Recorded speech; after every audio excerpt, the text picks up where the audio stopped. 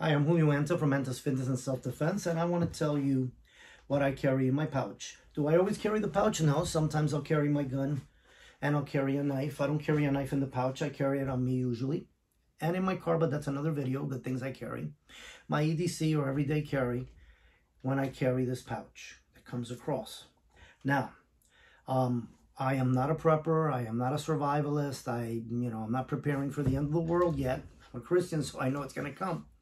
But this is what I carry, knowing the circumstances always before COVID, but since COVID, our world has changed. We have riots, we have mob attacks. If you know the ideology, you know, you we have Black Lives Matter Antifa trying to force communism, socialism, and you know, if you don't say Black Lives Matter, they attack you. You can't say all lives matter, all of that.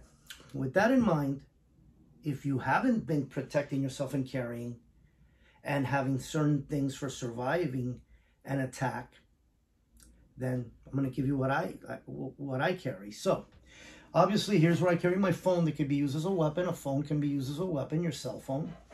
And I carry a tourniquet. Most likely, I'll never have to use a tourniquet. But I carry it just for myself or someone else that might get injured. Carry a, um, a lighter. Well, if you're a, if you're a prepper, you're gonna tell me that's the wrong lighter, man. I just need a lighter if I need to light something up. Never smoke, never plan to smoke. I carry it for that. CPR, CPR certified. Hopefully I'll never have to use it either, but if I do, hopefully save a life. A strong, which I don't think you could tell now, no, very strong flashlight. Um, if I need to use it for anything or to blind, you know, some kind of predator or criminal or somebody that comes at me. And I also carry a small baton. I carry a larger one in my car.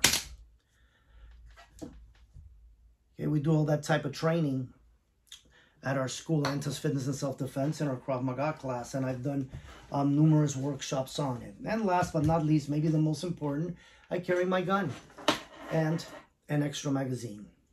Okay, so what I was telling you is that's the things I carry as a regular, everyday citizen that most likely I'm going to die and not use any of it. But it's like good insurance. We all have insurance, health insurance, I hope, and we don't want to go to the doctor. I got life insurance, I don't want to die.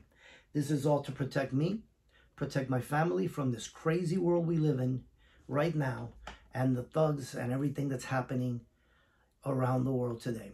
So, again, this is not prepper, survival. This is just me. And I add to that physical conditioning.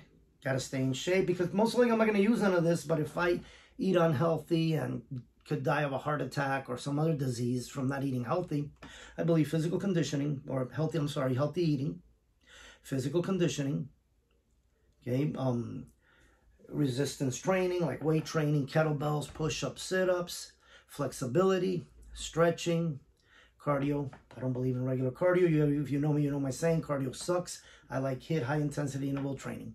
So with that and firearms training, knife fighting, baton fighting, and training is what I hope to live a functional long life.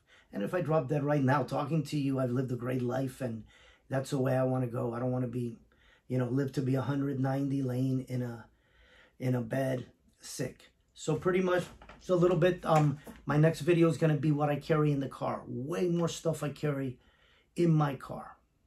So thank you for listening. Again, this is Julio Anta from Anta's Fitness and Self-Defense in Doral, a suburb of Miami.